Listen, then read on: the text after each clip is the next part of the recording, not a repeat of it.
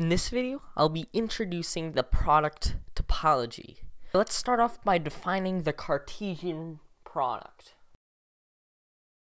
Okay, so what we do is we say that x cross y for two sets x and y is going to be defined as the set of all pairs x, y such that x is in x and y is in y. That's how we define the Cartesian product. Okay? And of course, we have to define what the pair is, and the pair is usually it's usually defined as the set of x and the set of x, y. And that way, it has an intrinsic order that you're able to tell. And so, how can we apply a topology on it? So, definition two is going to be the product topology. Um, if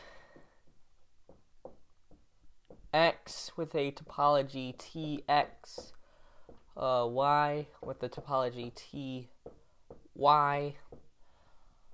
um, given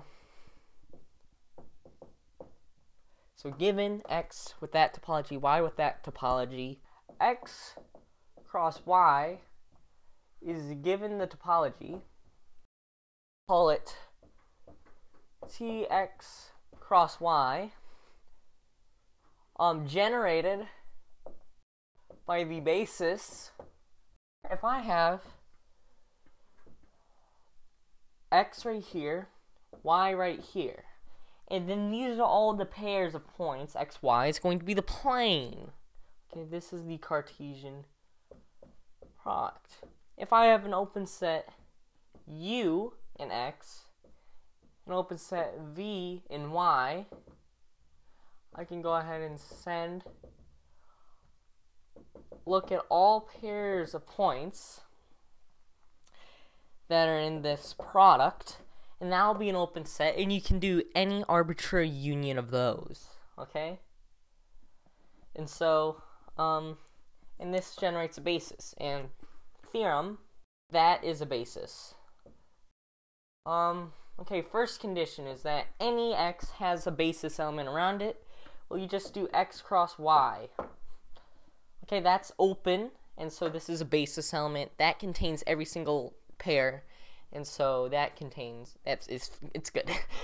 Okay so 2 is going to be between any two basis elements the intersection of them contains another one. Well if i'm doing u cross b intersect u prime cross v prime this is actually equal to u intersect u prime cross v intersect v prime, as you can prove, uh, set theoretically. And so this, of course, is a basis element.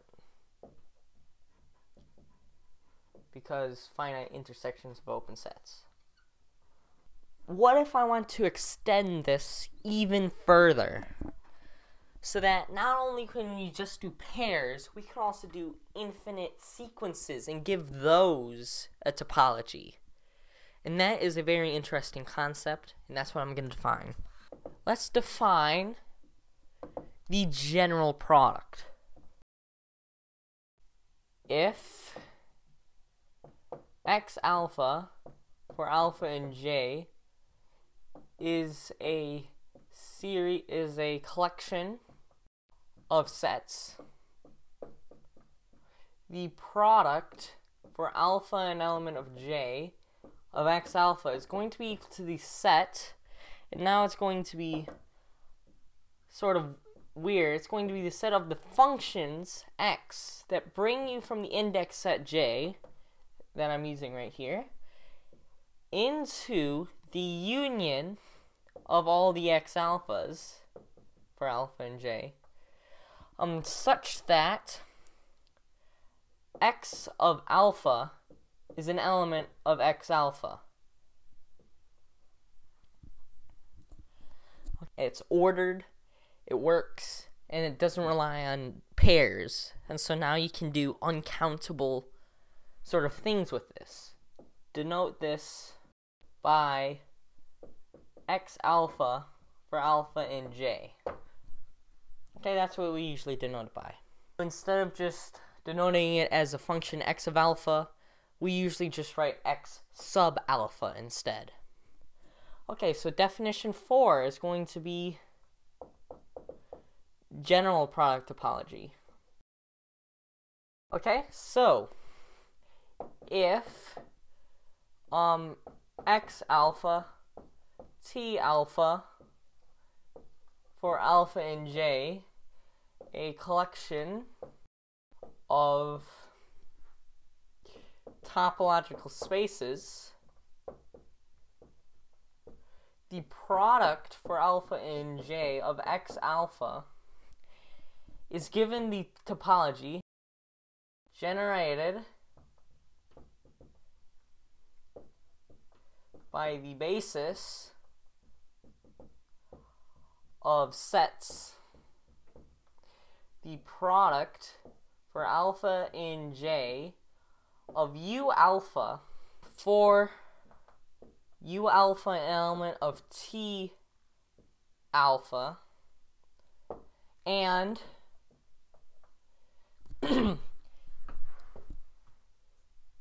U alpha is not equal to X alpha for only finitely many alpha and element J. Okay, so that means that you only multiply finitely many alpha um, u alphas together that aren't just the entire set.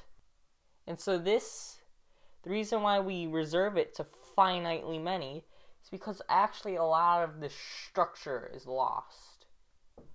Okay, a lot of the structure, and we'll see that in further on. And now definition 5 is going to be the box topology. This is probably more intuitive, but it removes a lot of the structure, as you will see. Um, and um, same sort of definition. We have all of these topological spaces. Um, and then pi alpha and j x alpha uh, has the topology uh, uh, generated by the basis of sets